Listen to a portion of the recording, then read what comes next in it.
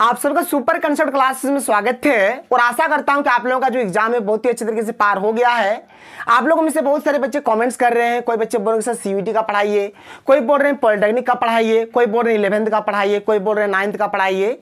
हर एक चीज़ पढ़ाऊँगा। बिल्कुल भी आप लोग टेंशन नहीं लीजिए। बस थोड़ा सा मेरा तबियत खराब हो गया है। बस थोड़ा तबियत ठीक होने दीजिए। मैं हर एक चीज़ को पढ़ाऊँगा। देखिए, आज हम लोग बात करने वाले हैं कि क्लास टेंथ और क्लास ट्वेल्थ में पास होने के लिए कितना नंबर चाहिए। यानी कि पासिंग मार्क्स क्या है? यहाँ पर हम लोग ए टू जेड हर एक चीज़ के ऊपर डिस्कस करेंगे। तो आप लोग वीडियो पर कंप्लीट बने रहें और अगर आप लोग हमारे चैनल पर पहली बार आए हैं तो चैनल को सब्सक्राइब करने के साथ साथ बेल का को प्रेस कर लीजिए। तो चलो भाई स्टार्ट करते हैं। देखिए, सबसे पहले यहाँ पर हम लोग बात करते हैं कि फ़र्स्ट होने के लिए सेकेंड होने के लिए और थर्ड डिविज़न होने के लिए कितना नंबर चाहिए? और देखिए, हर एक बच्चे का सपना होता है कि मैं फ़र्स्ट डिवीज़न हो जाऊँ, मेरा मेरा अच्छा खासा रिज़ल्ट हो, मेरा अच्छा खासा नंबर हो। तो कितना नंबर आने से आप लोग फ़र्स्ट डिवीज़न होंगे ए टू जेड यहाँ पर हम लोग हर एक चीज़ को डिस्कस करते हैं। देखिए, सबसे पहले बात करते हैं थर्ड डिवीज़न का। थर्ड डिवीज़न होने के लिए आपको कितना नंबर लाना पड़ेगा? तो सबसे पहला बात, जितना भी सब्जेक्ट होगा, हर एक सब्जेक्ट में आप लोगों को पास करना पड़ेगा। थर्ड डिवीज़न होने के लिए आपको हर एक सब्जेक्ट में पास करना पड़ेगा। यानी कि हर एक सब्जेक्ट में आप लोगों को 33 प्रतिशत नंबर लेकर आना है। अभी हम लोग नंबर के ऊपर भी डिस्कस करेंगे। अभी तो फ़िलहाल मैं आपको प्रतिशत बता रहा हूँ। लेकिन एक एक करके हर एक चीज़ के ऊपर डिस्कस करेंगे, इसलिए आप लोग वीडियो पर कंप्लीट बने रहिएगा।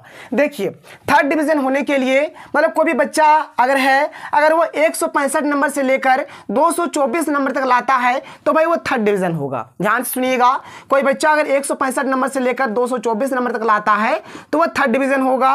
अगर कोई बच्चा 225 नंबर से लेकर दो नंबर तक लाता है तो भाई ये सेकंड डिवीज़न होगा। बात समझ में आया? अगर कोई बच्चा 225 नंबर से लेकर दो सौ निन्यानवे नंबर तक लाता है तो ये सेकेंड डिवीज़न होगा। और कोई बच्चा या तो 300 नंबर लाता है, या फिर 300 नंबर से जितना आप ज़्यादा ला सकता है वह फ़र्स्ट फ़र्स्ट डिवीज़न के कैटेगरी में आ जाएगा। यानी कि फ़र्स्ट डिवीज़न होने के लिए हमें कम से कम 300 नंबर चाहिए, और 300 नंबर से ज़्यादा होगा, तब भी कोई दिक्कत नहीं है। देखिए, कुछ दिनों से मतलब कुछ सालों से अगर एक्चुअल में बोला जाए तो एक कभी रूल आया है ग्रेस मार्किंग का। मतलब पाँच नंबर दिया जाता है ग्रेस मार्क ठीक है? जो ग्रेस मार्क्स जो होता है, पाँच नंबर तक दिया जाता है। मान के चलिए कोई बच्चा है, कोई बच्चा है उस सेकंड डिवीज़न होने के लिए सेकंड डिवीज़न होने के लिए मतलब कोई बच्चा है, अगर वो मान के चलिए 222 नंबर लेकर आता है, कितना नंबर लेकर आता है? 222 नंबर अब देखिए इसको सेकंड डिवीज़न होने के लिए कितना नंबर चाहिए? 225 नंबर चाहिए। अगर 225 नंबर लेकर आता है तो बस सेकंड डिवीज़न हो जाएगा। तो ये जो बच्चा दो सौ बाईस नंबर लेकर आया है, इसको तीन नंबर एक्स्ट्रा दिया जाता है ऑफ़र के तौर पर कि लो बेटा, तुम तीन नंबर ले लो और तुम सेकंड डिवीज़न हो जाओ। अगर कोई बच्चा है, मान के चलिए अगर ये जो बच्चा है, ये दो नंबर लेकर आया है, दो नंबर लेकर आया है। अब ये दो लाया है, यानी अभी ये सेकेंड डिवीज़न है। ये क्या है? सेकेंड डिवीज़न है। और इसको फ़र्स्ट डिवीज़न होने के लिए 300 नंबर चाहिए। 300 नंबर चाहिए, यानी दो नंबर अभी कम है तो इसको दो नंबर ऑफ़र के तौर पर दिया जाएगा ग्रेस मार्किंग, जिसको हम लोग बोलेंगे। तो पाँच नंबर तक दिया जाता है ग्रेस मार्क। याद रखिएगा, ग्रेस मार्क कितना नंबर तक दिया जाता है? पाँच नंबर तक। मतलब पाँच नंबर अगर आपका कम आ रहा है किसी भी चीज़ को हासिल करने में, चाहे सेकेंड डिवीज़न हो, चाहे फ़र्स्ट डिवीज़न हो तो भाई आपको पाँच नंबर यहाँ पर ग्रेस मार्किंग दिया जाएगा। तो ये तो बात हो गया फ़र्स्ट सेकेंड थर्ड और ग्रेस मार्किंग का। हम हम लोग यहाँ पर क्लास बाय क्लास बात करेंगे, क्लास टेंथ का डिस्कस करेंगे, और क्लास ट्वेल्थ में देखिए दो चीज़ हमारा हो जाता है। एक हमारा प्रैक्टिकल वाला सब्जेक्ट हो जाता है और एक हमारा नॉन प्रैक्टिकल वाला सब्जेक्ट हो जाता है। तो practical non practical class tenth हर एक के ऊपर डिस्कस करते हैं। सबसे पहले बात करते हैं क्लास टेंथ का। देखो क्लास टेंथ में 40 नंबर का हमारा ऑब्जेक्टिव हुआ था 40 नंबर का हमारा सब्जेक्टिव हुआ था, और किसी में हमारा इंटरनल असेसमेंट था, और किसी में हमारा प्रैक्टिकल था। आप या तो इंटरनल असेसमेंट बोल लीजिए, या फिर प्रैक्टिकल बोल लीजिए तो ये हमारा 20 नंबर का हुआ था। यानी 40 40 80 और ये 20 यानी टोटल मिलाकर 100 ठीक है टोटल मिलाकर 100 यानी देखिए क्लास टेंथ में पास होने के लिए आपको हर एक सब्जेक्ट में, यानी हर एक सब्जेक्ट का बात कर रहा हूँ मैं मतलब प्रत्येक सब्जेक्ट में आप लोगों को यहाँ पर तैंतीस नंबर करके लाना पड़ेगा। जैसे अगर आप मैथ का बात करेंगे तो मैथ में आपको तैंतीस नंबर लाना पड़ेगा। साइंस का बात करें तो साइंस में आपको तैंतीस नंबर लाना पड़ेगा। अगर हिंदी का बात करें तो हिंदी में भी आपको तैंतीस लाना पड़ेगा। इंग्लिश का बात करें तो इंग्लिश में भी आपको तैंतीस नंबर लाना पड़ेगा। सोशल साइंस का बात करें तो इसमें भी आपको तैंतीस लाना पड़ेगा। ठीक है? यानी क्लास टेंथ में पास होने के लिए, एक सब्जेक्ट में पास होने के लिए आपको तैंतीस नंबर लाना पड़ेगा। और देखो भाई क्लास टेंथ में हमारा टोटल मिलाकर अगर एडिशनल को भी अगर हम लोग जोड़ लें तो टोटल हमारा छः सब्जेक्ट्स होता है। टोटल हमारा कितना विषय होता है? छः विषय होता है, और छह विषय में से मात्र आपको पाँच ही विषय में पास करना है। अगर आप लोग अगर एक विषय में अगर फेल भी हो जाते हैं तब भी कोई दिक्कत नहीं है, तब भी आप लोग पास हो जाएँगे।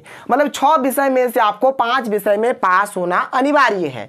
ये हुआ हमारा क्लास टेंथ का नियम और क्लास टेंथ में पास होने के लिए मतलब एक विषय में आपको लाना पड़ेगा तैंतीस नंबर।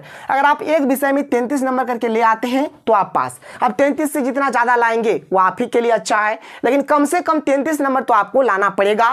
तैंतीस नंबर कौन कौन वाला मिलाकर तो ये जो ऑब्जेक्टिव का जो चालीस नंबर रहा, ये जो सब्जेक्टिव का जो चालीस नंबर रहा और आपका इंटरनल असेसमेंट प्रैक्टिकल का जो बीस नंबर रहा, सबको मिलाकर सबको मिलाकर। अगर आप मान के चलिए ऑब्जेक्टिव में ही अगर आपने तैंतीस नंबर लेकर आ गया, इसमें और इसमें छोड़ देते हैं, तब भी आप पास हो जाएँगे।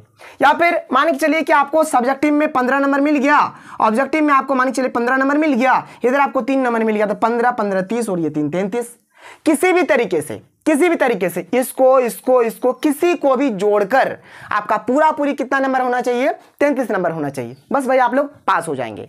ये रहा क्लास टेंथ का फंडा। अब हम लोग चलते हैं क्लास ट्वेल्थ में और क्लास ट्वेल्थ का बात करते हैं। देखो भाई क्लास ट्वेल्थ में दो प्रकार का सब्जेक्ट होता है। एक होता है प्रैक्टिकल वाला, एक होता है नॉन प्रैक्टिकल वाला। तो देखो, जो प्रैक्टिकल वाला था ना, ये हमारा सत्तर तीस का था और जो नॉन प्रैक्टिकल वाला था, ये हमारा अस्सी बीस का था। ये हमारा अस्सी बीस का था। अब भाई ध्यान से सुनो, यहाँ पर आप लोग बात को समझो। जो प्रैक्टिकल वाला था, इसमें जो हमारा सत्तर नंबर का जो हुआ था पेपर जिसको हम लोग बोलेंगे थ्योरी पेपर ठीक है? तो इसमें से पैंतीस नंबर का हमारा ऑब्जेक्टिव था और पैंतीस नंबर का हमारा सब्जेक्टिव था। बात क्लियर और तीस नंबर भाई हमारा कहाँ से था? तो तीस नंबर हमारा प्रैक्टिकल से था। तीस नंबर कहाँ से था? प्रैक्टिकल से था। अब देखो नॉन प्रैक्टिकल वाला तो 20 नंबर तो हमारा इंटरनल असेसमेंट का था 20 नंबर इंटरनल असेसमेंट का था, और ये जो 80 नंबर था, इसमें से 40 नंबर का हमारा ऑब्जेक्टिव था, और 40 नंबर का हमारा सब्जेक्टिव था। बात क्लियर हो रहा है? तो प्रैक्टिकल वाला अगर बात करा जाएगा, यहाँ पर प्रत्येक विषय का बात हो रहा है इनके हर एक सब्जेक्ट में। यहाँ पर हम लोग सबसे बात करते हैं किसी भी एक सब्जेक्ट कोई सा भी सब्जेक्ट उठा लीजिए, जो हमारा प्रैक्टिकल वाला है। जैसे कि केमिस्ट्री में प्रैक्टिकल है, जैसे कि फिजिक्स में प्रैक्टिकल है तो प्रैक्टिकल वाला सब्जेक्ट का बात करते हैं। आप यहाँ पर जियोग्राफी का भी बोल सकते हैं। जियोग्राफी में भी हमारा प्रैक्टिकल होता है और हमारा पैंतीस नंबर का ऑब्जेक्टिव हुआ था। पैंतीस नंबर का सब्जेक्टिव हुआ था। यानी थ्योरी हमारा सत्तर नंबर का हुआ था। तो देखो भाई, ये सत्तर नंबर में से आपको लेकर आना है तेईस नंबर। कितना नंबर? तेईस नंबर। अगर सत्तर नंबर में से अगर आप लोग तेईस नंबर लेकर आते हैं तो भाई आप उस सब्जेक्ट में पास हो। चाहे आप ऑब्जेक्टिव से ले आओ, चाहे आप सब्जेक्टिव से ले आओ, चाहे आप दोनों को मिलाकर ले आओ। तो आप क्या हो जाएँगे यहाँ पर? पास हो जाएँगे। तो आप लोग देख लीजिए कि आपने जो ऑब्जेक्टिव सब्जेक्टिव का जो एग्ज़ाम दिया था, अगर दोनों मिलाकर आपका तेईस नंबर हो जाता है प्रैक्टिकल वाला का मैं बात कर रहा हूँ प्रैक्टिकल वाला का। अगर आपका तेईस नंबर हो जाता है तो भाई आप पास हो। यानी ये जो सत्तर नंबर वाला जो आपका हुआ था, सत्तर नंबर में अगर आपने तेईस नंबर अगर आपने लेकर आया है तो भाई आप पास हो। तब आपको टेंशन लेने का ज़रूरत नहीं है, घबराना भी नहीं है। अब फ़र्स्ट सेकंड थर्ड हो तो बाद की बात है, लेकिन पहले आप पास जान लो कि पास आप लोग हो या फिर नहीं हो। अगर हम लोग बात करें नॉन प्रैक्टिकल वाले सब्जेक्ट का, देखो भाई नॉन प्रैक्टिकल वाला जो सब्जेक्ट था ना, ये हमारा 80 बीस वाला था, ये 80 नंबर का जो हमारा थ्योरी हुआ था, इसमें से 40 नंबर का ऑब्जेक्टिव था और 40 नंबर का हमारा सब्जेक्टिव था। 40 का ऑब्जेक्टिव था और 40 का सब्जेक्टिव था। ये जो 80 नंबर का हुआ था ना, इस 80 नंबर में से आपको लेकर आना है सत्ताईस नंबर कितना लेकर आना है? सत्ताईस नंबर अगर आप 80 में से, अगर आप सत्ताईस नंबर लेकर आ जाते हो तो आप पास हो। चाहे आप पूरा का पूरी ऑब्जेक्टिव से ही सतासी नंबर लेके आ जाओ, या फिर आप सब्जेक्टिव से सतासी नंबर लेके आ जाओ, या फिर आप दोनों को मिलाकर सतासी नंबर ले आओ, कोई दिक्कत नहीं है। ठीक है? मतलब यहाँ पर आपको हर एक सब्जेक्ट में पास होने के लिए मतलब यहाँ पर नॉन प्रैक्टिकल का नॉन प्रैक्टिकल वाला अगर बात करा जाए तो अस्सी नंबर में से आप लोगों को लेकर आना है सत्ताईस नंबर। अगर आप सताईस नंबर लेकर आते हैं तो आप पास है। देखो, यहाँ पर क्लास ट्वेल्थ में क्या होता है, जो प्रैक्टिकल रहता है और जो इंटरनल असेसमेंट रहता है, उसको हम लोग नहीं जोड़ते उसको बाद में ऐड किया जाता है। लेकिन टेंथ में सबको एक साथ जोड़कर रिज़ल्ट बनता है। तो ट्वेल्थ का भी आपने समझ गया टेंथ का भी आप लोग समझ गए। देखो भाई, यहाँ पर कुछ होता नहीं है। आपको यहाँ पर निकालना पड़ता है तैंतीस प्रतिशत। तैंतीस प्रतिशत, जितना का आपने एग्ज़ाम दिया है, जितना नंबर का एग्ज़ाम दिया है, बस आप तैंतीस प्रतिशत निकाल लो, आपका काम बन जाएगा। तो प्रैक्टिकल वाला जो था उस सत्तर नंबर का था, सत्तर का तैंतीस प्रतिशत निकालेंगे तो आएगा बाईस पॉइंट एक। बाईस पॉइंट एक यानी तेईस नंबर बोल सकते हैं। जो नॉन प्रैक्टिकल था, जो अस्सी नंबर का हुआ था, अगर इसका तैंतीस प्रतिशत तैंतीस प्रतिशत अगर इसका निकालेंगे तो छब्बीस पॉइंट चार आएगा, जिसको हम लोग एक मतलब एक्यूरेट में सताइस नंबर यहाँ पर हम लोग बोलते हैं। तो बस आप लोग जान लो कि आप अगर क्लास ट्वेल्थ के स्टूडेंट हो तो जो आपका सत्तर नंबर वाला जो पेपर हुआ था, उसमें आपको एक सब्जेक्ट में जो सत्तर का हुआ था, उसमें पास होने के लिए आपको लाना पड़ेगा तेईस नंबर ठीक है? आपको लाना पड़ेगा तेईस नंबर और जो अस्सी नंबर वाला था, उसमें आपको पास होने के लिए लाना पड़ेगा कितना? सत्ताईस नंबर तो अगर आपका इस प्रकार से नंबर आता है भाई तो आप पास हो, चाहे आप ऑब्जेक्टिव से ले आओ चाहे आप सब्जेक्टिव से ले आओ या फिर आप दोनों को मिलाकर ले आओ। मतलब ऑब्जेक्टिव और सब्जेक्टिव दोनों को मिलाकर ले आओ। कैसे भी करो, कोई दिक्कत नहीं है। या तो ऑब्जेक्टिव से, या फिर सब्जेक्टिव से, या फिर दोनों को मिलाकर। तो ये रहा हमारा आज का वीडियो। जितना हो सके वीडियो को शेयर करें। आगे आप लोगों को पढ़ाऊँगा टेंशन नहीं लीजिए। तो चलिए मिलते हैं अगले वीडियो में। थैंक यू जय हिंद।